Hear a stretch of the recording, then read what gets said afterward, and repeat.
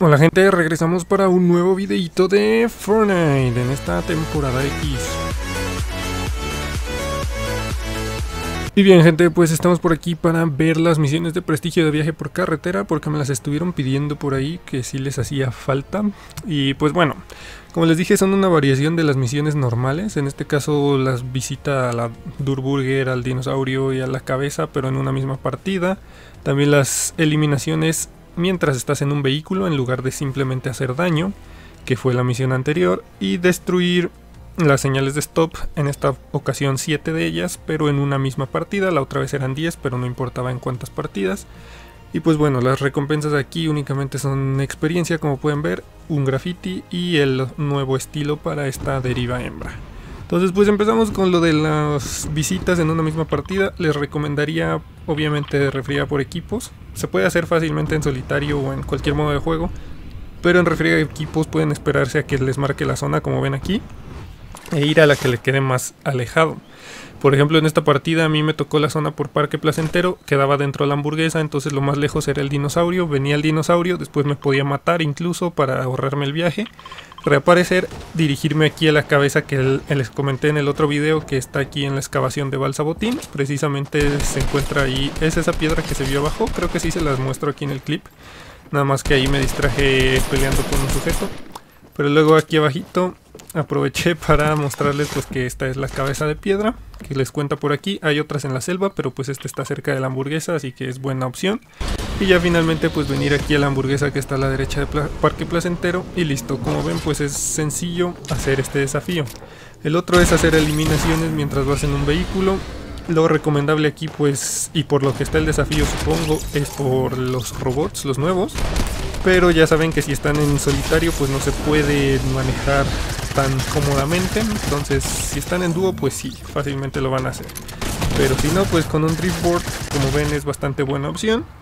O si se quieren animar con el robot. Lo de las señales de stop pues al igual que en el video anterior. La mejor ciudad, Parque Placentero para hacer esto. Hay fácil como unas 14 señales. Eh, no las he contado, la verdad, pero pues cuando hicimos el, el desafío de 10 todavía nos sobraron algunas.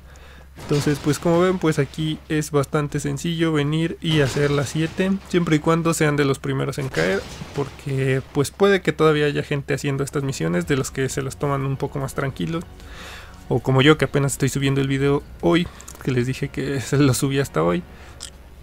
Y pues bueno, los siguientes desafíos son hacer daños mientras estás en una tirolesa, eliminar oponentes en 5 lugares con nombres diferentes y visitar 10 lugares con nombres diferentes. Este es bastante tardado. Creo que es más fácil hacerlo en una partida normal de solitario, de dúos, de lo que sea, pero bueno. Empezamos con el de la tirolesa, únicamente son 200 de daño. Yo soy malísimo para apuntar mientras estoy en una tirolesa, pero bueno. Aquí el sujeto, pues por ahí en refriega de equipo se puede hacer fácilmente. Al final como que entendió que estaba haciendo el desafío y se rindió y me regaló la kill para que lo completara. Pero bueno, el otro no, pero igual se murió al carajo. Pero como les digo, pues aquí tienen, aunque sea la ventaja de la reaparición, la desventaja es que pues si no les toca la zona en una en un área donde haya tirolesas, pues no se va a poder hacer el desafío. Pero pueden volver a entrar y entrar y entrar hasta que les toque la zona en una de esas. El siguiente pues es únicamente eliminar oponentes en lugares con nombres distintos.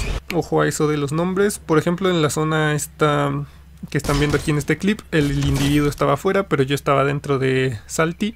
Entonces pues desde ahí se los cuenta. Si ustedes están dentro y el enemigo está afuera, contará. Si ellos están dentro y ustedes están fuera, también les contará.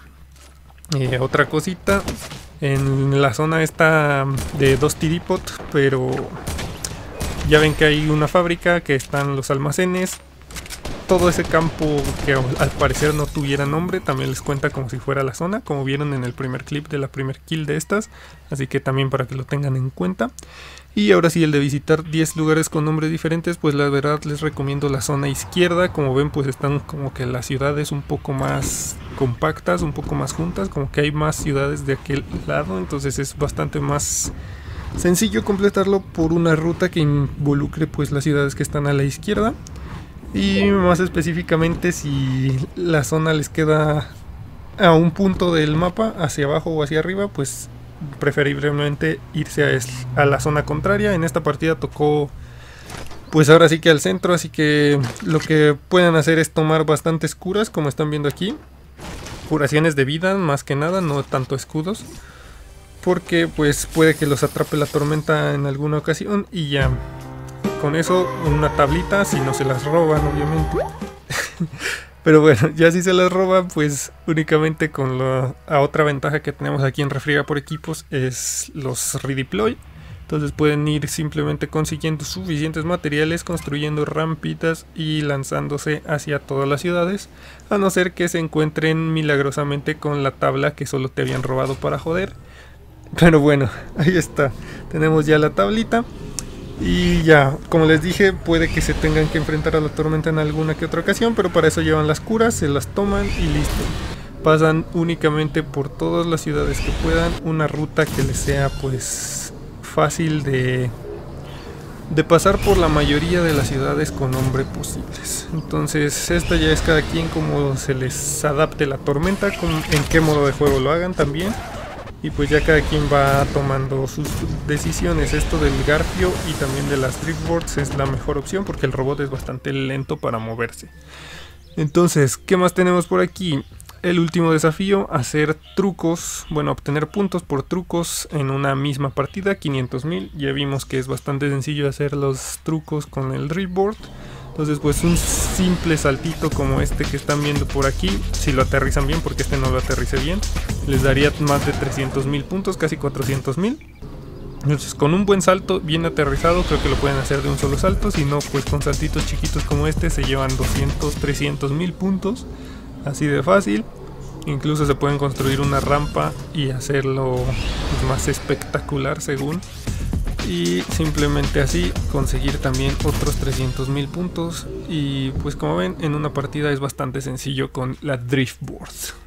Y con eso pues completamos todas las misiones de prestigio. Bastante sencillas, bueno, medio tareadas algunas, más las de visitar lugares en una misma partida. Pero bueno, con eso desbloqueamos ese nuevo estilo de la deriva hembra. Como ven afuera del menú nos aparecen en 0%, pero ya entrando están en, en 100%, así que así de sencillo se completan estas misiones de prestigio. Son una variación, quizás algo repetitivas porque tienen las misiones normales y luego es prácticamente lo mismo las de prestigio, pero bueno, aquí se buguearon los bailes, así que nos despedimos desde el casillero y espero que este videito les sirva. Me lo estaban pidiendo, entonces pues aquí se los traigo. Y ahora sí, nos vemos en la próxima chavales. No olviden suscribirse, activar la campanita, dejar su like y hasta la próxima. Chao. Chao.